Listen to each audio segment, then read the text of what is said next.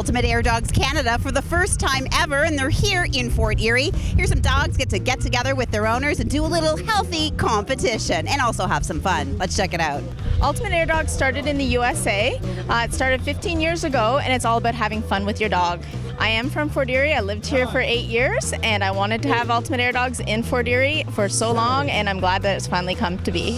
So this is our first year that we've been in business, and we're hoping to get a lot more events in the area and bring Ultimate Air Dogs to more events here in Fort Erie, as well as Niagara and Grimsby and the general area.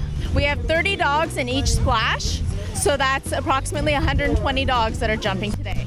They signed up on our website. Um, they come out to the event. Today it's just the long jump, which is a splash. So the dogs are jumping for the length. So the longest dog that goes will get in the top of the, the winning. So tell me, Stephanie, generally speaking, the dogs that you get here, are they professionally trained or are they just trained by their owners or what sort of is the mix of the animals that you get? They're family pets. They're dogs that stay, sleep in our own houses. They live in our houses. They're our pets. They're our family.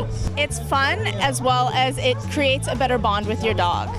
Um, like part of our mission statement is the bond with the dog, seeing the dogs and the handlers up there having fun, um, as well as we like to support the local charities. So portion, portion of our proceeds will be donated to the Fort Erie SPCA. I think it's great. There's not a lot of dog stuff down here, so I think the more we can get, the more other dog stuff will come to the area. And there's a lot of dogs in the area that just want to go out and have some fun.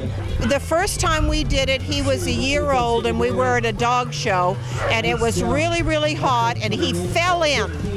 And he was absolutely thrilled. He was wet, he was cool, and everybody thought he was wonderful and he hasn't stopped since.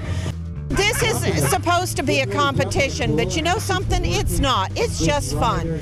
I can cheer for him when he does 14 foot, and I can cheer for him when he does 5 foot. And it's not any real training involved, it just means you get a chance to have your dog out here and have a ball with him.